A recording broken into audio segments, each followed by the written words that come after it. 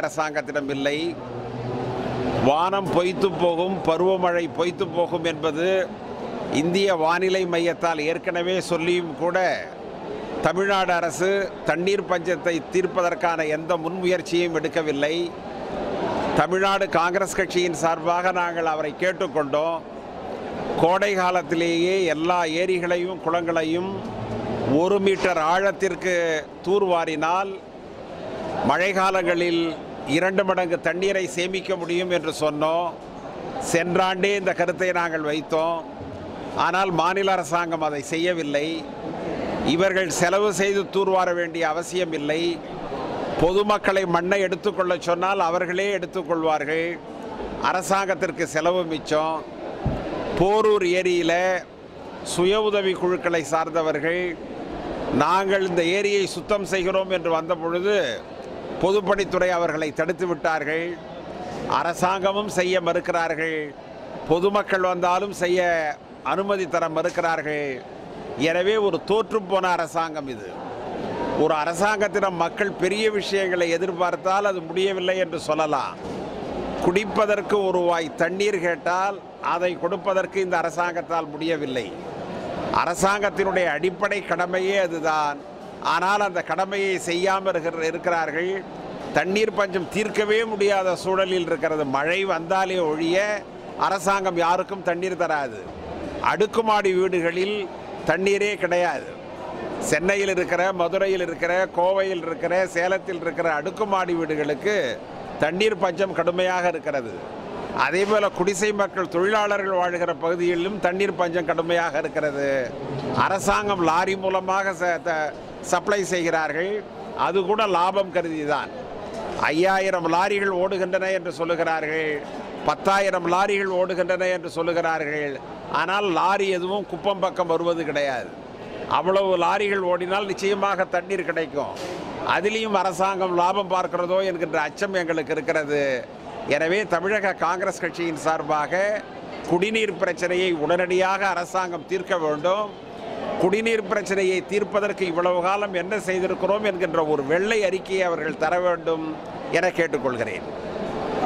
அடுத்ததாக நீட் தேர்வை பொறுத்தவரை தமிழக மாணவர்கள் பெரிதாக பாதிக்கப்பட்டிருக்கிறார்கள். அரசு பள்ளிகள் அரசு உதவி பெறும் பள்ளிகளில் நான்கு சதவீத மாணவர்கள் தான் வெற்றி பெற்றிருக்கிறார்கள். ஏறக்குறைய ஒன்றரை லட்சம் மாணவர்கள் எழுதிய தேர்வில் இரண்டாயிரம் மாணவர்கள் தான் அரசு பள்ளியிலிருந்து தேர்ந்தெடுக்கப்பட்டிருக்கிறார்கள். அவர்களும் பெரிய மதிப்பெண் பெறவில்லை. அவர்களுக்கும் மருத்துவக் கல்லூரியில் இடம் கிடைக்காது. எனவே மருத்துவக் கல்லூரியில் இடம் கிடைக்காது பொறியியல் கல்லூரியில் இடம் கிடைக்காது. ஆனால் இதற்கு யார் ப- பலிகடா ஆகிறார்கள் என்று சொன்னால் அரசு பள்ளியிலும் அரசு உதவி பெறும் பள்ளியிலும் இருக்கிற மாணவர்கள் தான் பலிகடா ஆகிறார்கள். தமிழ்நாடு காங்கிரஸ் என்ன சொல்கிறது என்றால் ஒரு மாணவன் பத்தாம் வகுப்பு பொதுத் தேர்வை எழுதுகிறான். பனிரெண்டாம் வகுப்பில் பொதுத் தேர்வு எழுதுகிறான். எனவே மூன்றாவது பொதுத் தேர்வு அவசியம் இல்லை நீட் என்கின்ற ஒரு தேர்வு அவசியம் இல்லை அவனுக்கு அது சுமை. எனவே நாங்கள் என்ன சொல்லுகிறோம் என்றால் ப்ளஸ் டூ மதிப்பெண்ணுடைய அடிப்படையில் அவர்களுக்கு மருத்துவக் கல்லூரியிலே பொறியியல் கல்லூரியிலே மற்ற இடங்களிலே இடம் தர வேண்டும். அதுதான் சமூக நீதி. தந்தை பெரியார் அவர்களும் காமராஜர் அவர்களும் தமிழகத்தினுடைய சமூக நீதிக்காக கடுமையாக போராடியவர்கள். முதல் அரசியல் சட்ட திருத்தமே பெ- பெருந்தலைவர் காமராஜருடைய உதவியால் தான் டெல்லியிலே நடைபெற்றது. இந்திய அரசியல் சட்டத்தை அன்றைக்கு வகுப்பு வாரி பிரதிநிதித்துவம் என்று பெயர். ஒவ்வொரு இனத்திற்கும் இவ்வளவு இடம் கொடுக்க வேண்டும் என்று முடிவு செய்து அன்றைக்கு அரசியல் சட்டத்தை திருத்தினோம். ஆனால் இன்றைக்கு மோடி அரசாங்கம் சமூக நீதிக்கு எதிராக நடக்கிறது இதை நாங்கள் வன்மையாக கண்டிக்கிறோம். காவிரி மேலாண்மை வாரியம் என்பது அதிக அதிகாரங்கள் கொண்ட ஆணையம் என்று நமக்கு சொல்லப்பட்டது. அது உண்மையும் கூட.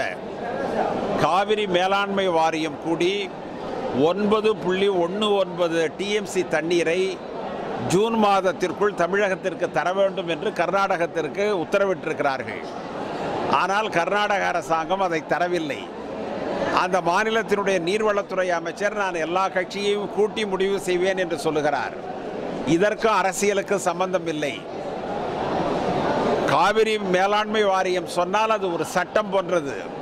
எனவே அவர்கள் சொன்னதை ஒரு மாநில அரசாங்கம் ஏற்றுக்கொண்டு திறந்துவிட வேண்டுமே ஒழிய மீண்டும் அவர்கள் மக்களிடம் செல்வோம் விவசாயிகளிடம் செல்வோம் எங்களுடைய க கட்சிகளை கூப்பிட்டு பேசுவோம் என்று சொல்வது தவறு. அது ஏற்றுக்கொள்ளக்கூடியதல்ல. நாங்கள் அதை வன்மையாக கண்டிக்கிறோம். தமிழ்நாடு காங்கிரஸ் வன்மையாக கண்டிக்கிறது. அணையில் தண்ணீர் இல்லை என்று சொன்னால் காவிரி மேலாண்மை வாரியம் ஒன்பது புள்ளி ஒன்று ஒன்பது டிஎம்சி தண்ணீரை திறந்து விடுங்கள் என்று சொல்லி இருக்காது. ஏனென்றால் வா- வாரியத்தினுடைய அதிகாரிகள் அணையை பார்த்துவிட்டு வந்து தான் அந்த உத்தரவு பிறப்பித்திருக்கிறார்கள். எனவே வாரியத்தை மதித்து உடனடியாக கர்நாடக அரசு தண்ணீரை திறந்து விட வேண்டும். மத்திய அரசும் இதில் நடவடிக்கை எடுக்கணும். மத்திய நீர்வளத்துறை அமைச்சகம் உடனடியாக இதில் தலையிட வேண்டும்.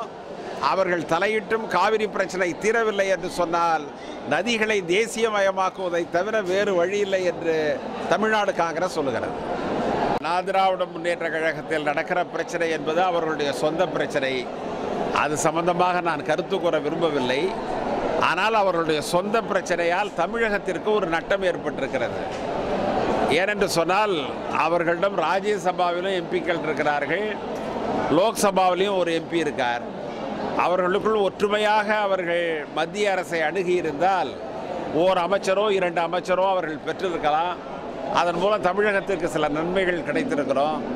ஆனால் அவர்களுக்கு பரந்த மனப்பான்மை இல்லாத காரணத்தினால் அதையும் இழந்து போயிருக்கிறார்கள்.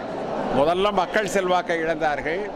இப்பொழுது அரசு ரீதியாக கிடைக்கக்கூடிய வாய்ப்பையும் இழந்திருக்கிறார்கள். உள்கட்சியால் ஏற்பட்ட நன்மை அவர்களுக்கு இதுதான். வேற எதுவும் இல்லை.